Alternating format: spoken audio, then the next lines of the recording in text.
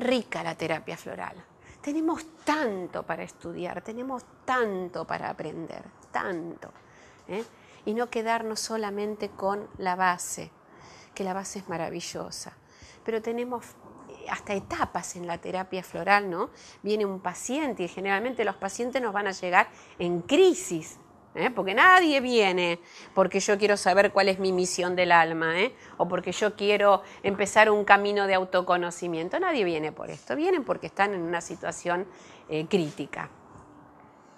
Bueno, tendré que trabajar lo crítico, pero también hacerle entender que debajo de lo crítico hay otras cosas que hay que modificar.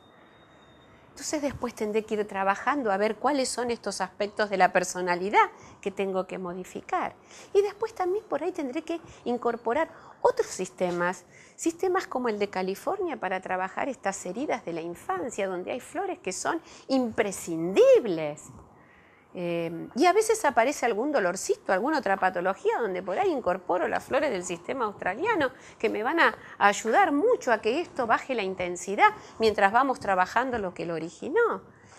Y algo que estamos este, implementando ya de hace un tiempo, pero ahora con mucho más, eh, haciendo mucho más hincapié en la escuela, em, esencias de setas, esencias de hongo, para trabajar las cosas guardadas en el inconsciente, que no es tan fácil trabajarlo pero uno empieza a trabajar con estas esencias y empiezan a aparecer sueños, recuerdos, pero recuerdos que a veces son fuertes, traumáticos, pero que limpian situaciones, que uno lo trae a la conciencia y lo puede transformar.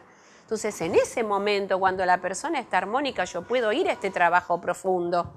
Entonces, no puedo hacer eh, una terapia en dos entrevistas.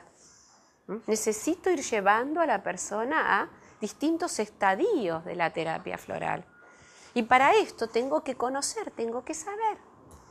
Tengo que conocer qué, otros, qué otras esencias, qué otros sistemas puedo ir incorporando para eh, enriquecer esta terapia floral.